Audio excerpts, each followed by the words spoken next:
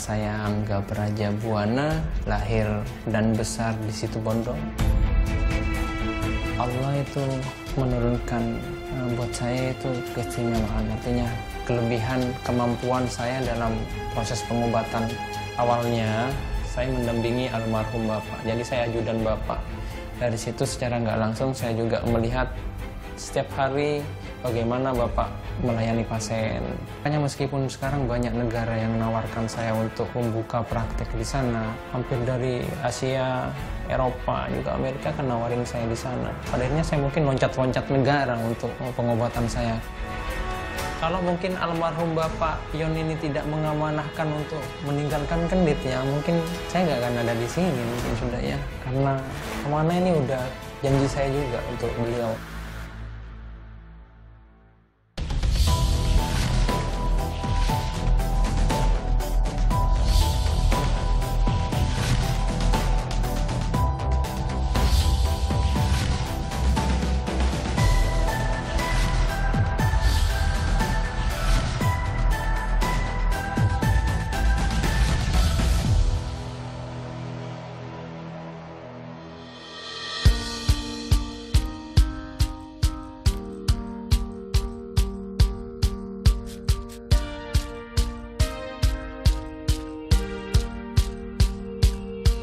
Saya tidak pernah menganggap satu pasien pun menjadi pasien saya. Saya menganggap mereka sama seperti keluarga saya.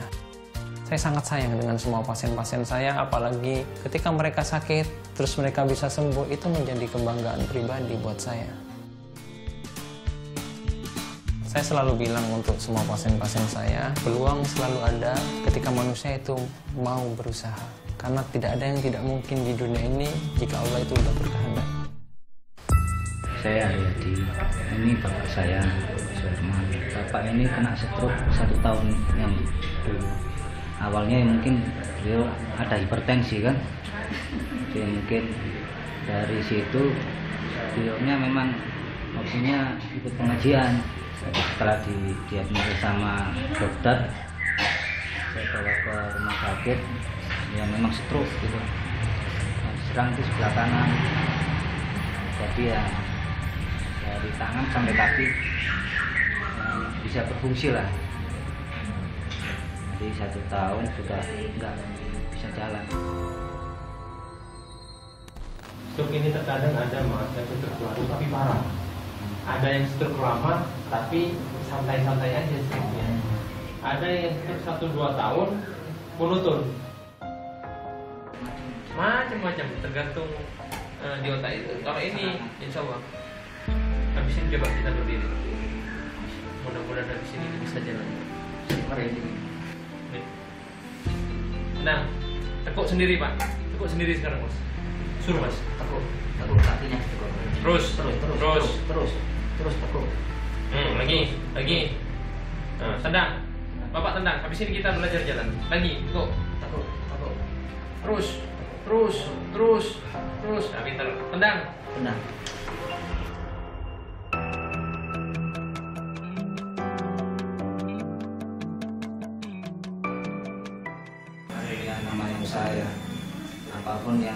kita lakukan namanya buat orang tua ya, saya akan ini, saya akan lakukan gitu.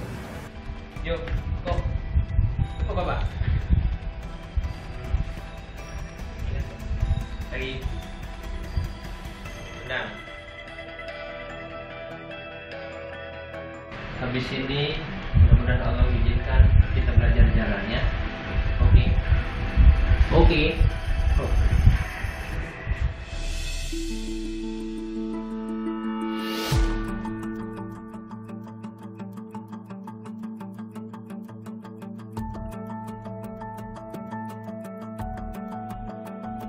Kiri sini ya. Organ kanan yang kena otaknya organ kiri. Otak kirinya.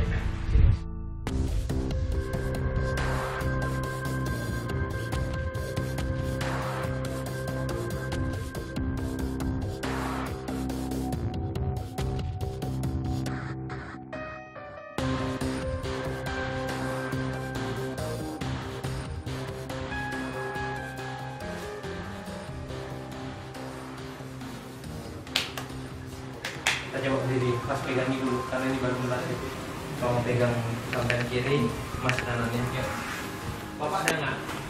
Bapak ada nggak? Ada nggak? Ada nggak? Ada depan mas tolong pegang depan. Angkat mas. Ikuti arahan mas angga ya. Yuk.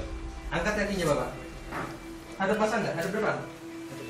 Hadap sini. Ah yuk angkat kakinya. Nah lagi terus. Kurang kurang panjang. Mas Arif tolong pegangin mas Arif. Tangan dua-duanya Mas Arif saya mau mandu kaki Mas Arif si. Yuk angkat ini pak. Nah, oke terus Mas Arif. Mas Arif maju depan. Angkat nah pintar. Lagi. Terus. Terus. Bapak suruh hadap depan mas. Depan pak depan Mas Arif hadapkan depan Mas Arif. Yang terus terus. Katanya satu tahun nggak jalan benar suruh angkat Mas Arif. Angkat kaki. Angkat mas. Yuk, Bismillahirrahmanirrahim. Lagi. Ya, lagi terus. Terus. Terus Mas Arif. Terus Mas Arif. Oke. Oke, dudukkan di situ dah, dudukkan di situ, dudukkan di situ. Capek dia udah. Udah, udah, udah, udah, udah, udah, udah, dulu, udah dulu. Yang insya Allah kalau beliaunya nih bisa jalan bisa bersama lagi sholat biasanya nggak gitu Bapak kalau di rumah ini pasien saya uh, dari dari Sampang. dari Sampang Madura. Ini pasien program hamil saya. saya ke sini ke Mas Angga itu promil. Kita sudah menikah selama 12 tahun, mas- tapi masih belum dikasih keturunan. Dalam 12 tahun kita tidak tidak tidak tidak diam, tidak stagnan kita itu. Kita tetap berusaha dengan berbagai alternatif pengobatan dari medis kita pernah Alhamdulillah, setelah beberapa kali terapi totok saraf di tempat saya, sang istri akhirnya mendapatkan kehamilan. Tidak ada yang nggak mungkin di dunia ini ketika Allah itu berkehendak. Saya pernah bilang Mbak Irma tetap semangat. Jadi kita tunjukkan ke orang-orang yang sering ngebully. Kebanyakan itu ketika kita pasien program hamil nggak jadi-jadi Mbak. Bullying. Nah, sedangkan pekerjaan Mbak Irma tidak. Masa mau ngelahirin anak orang terus? Kapan yang mau hamil dan ngelahirin sendiri? Terkadang seperti itu. Artinya sekarang pasien saya udah hamil, Mbak Irma udah hamil, yang ngebulu-bulu mungkin masih sekarang malu mas ngeliat Mbak Irma sekarang udah bisa hamil dan mudah-mudahan setelah ini kan 8-9 bulan proses persalinannya lancar, janinnya sehat, sempurna, diberikan keselamatan ibu dan bayinya. Nah, hari ini saya cek bagaimana kondisinya. Oke, protein urin kemarin dicek gimana? Negatif. Oke, samurat, tensi, tensi, tensi, tensi, tensi. Oke. Songawan. Tiga kali. Ini bengkak soalnya mas. Iya. Nih, ini makanan. Makanya kemarin saya suruh cek tensi dan protein urin. Kebanyakan orang hamil bengkak, itu protein urinnya naik, Mbak. Ternyata pola makan. Kemarin makan apa? Sembarang. Loh, terus katanya kan bagus. Raja sih Ki. Saya tadi ya cuma kaget aja. Soalnya aja, apa ya kayak disetrum gitu loh. Ya, memang kan, kemarin kan sempat konsul ke SPOG dokter kandungan itu kita utarakan kita memang nggak punya kolesterol tinggi tapi kata beliau itu nggak apa-apa memang Hal wajar dalam kehamilan gitu seperti Sempat putus asa nggak Mas selama 12 tahun itu? cuma yakin kita mesti kita punya tapi kapan enggak seperti itu secara kita sering gagal tapi yakin itu ada Ya apa Mbak ketemu Mas Angga pertama karena ini memang bidan dan bidangnya dia untuk ibu dan anak. ya pertama kali ketemu sampean ya itu apa bisa tanda gitu saya itu bisa hamil Oh gitu, masih ada keraguan dulu gitu tuh. Iya.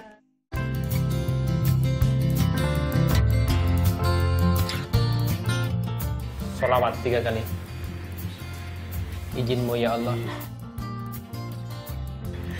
Mudah-mudahan sehat, selamat sampai proses persalinannya selesai. Ibu dan anaknya selamat mas ya, bayinya sehat dan sempurna. Ya. Jadi buat semua program hamil tetap semangat. Peluang selalu ada ketika manusia itu mau berusaha. saya gendong kan nangis rencana sih mau tak kasih susu mungkin dengan diberi susu bisa pulih ternyata langsung pingsan dan nggak sadarkan diri dan ngorok. Kita bawalah ke rumah sakit swasta di Surabaya. Dan akhirnya di sana didiagnosa itu meningitis